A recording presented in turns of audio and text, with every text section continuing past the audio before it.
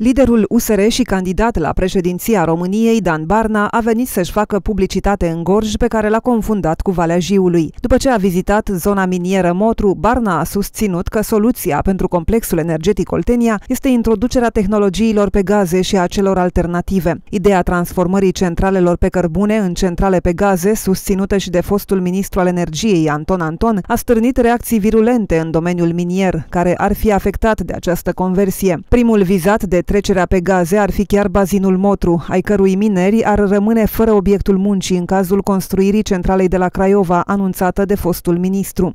Trebuie să vină o guvernare care să aibă o viziune adaptată pe viitor, să sprijine ce în investițiile de retehnologizare pe gaz, în investițiile de retehnologizare pe noile, pe noile tehnologii alternative Soluții alternative a mai testat și fostul director PSD al complexului energetic Oltenia, Laurențiu Ciurel, care a decis să se planteze iarba elefantului, o plantă din Asia pentru a reduce emisiile de dioxid de carbon. Deși a vizitat una din zonele miniere din Gorj și a vorbit de soluții pentru CEO, Dan Barna s-a încurcat în geografie, crezând că se află în Valea Jiului. Susținem, știu că este și acea inițiativă în Parlament cu reducerea vârstei de pensionare care ar mai elimina un pic presiunea socială.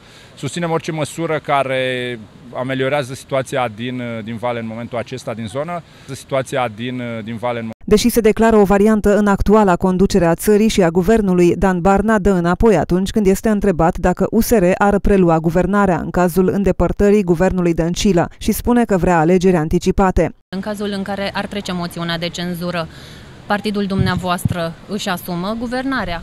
Partidul meu își asumă guvernarea din primul moment în care avem alegeri anticipate și votul românilor ne va ne va așeza la guvernare. Dan Barna este candidatul alianței formate de USR și Plus, partid condus de Dacian Cioloș și a fost secretar de stat în timpul guvernării partenerului politic de azi.